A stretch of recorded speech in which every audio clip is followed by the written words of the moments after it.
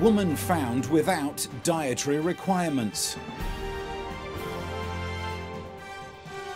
Professor, what exactly are you and your team saying here? We've discovered 34 year old Donna Sheridan, who appears to be able to consume a standard range of human foodstuffs without making a big fucking song and dance about it. So, Ms. Sheridan has allergies and requirements, obviously. She just doesn't talk about it much? No, Ms. Sheridan has no dietary requirements or allergies at all. I'm not sure I'm completely understanding the scientific language you're using here, Professor, so let's bring in Donna herself to see if she can explain what's going on in layman's terms. Donna, what are your dietary requirements? I don't have any. I will eat anything, basically.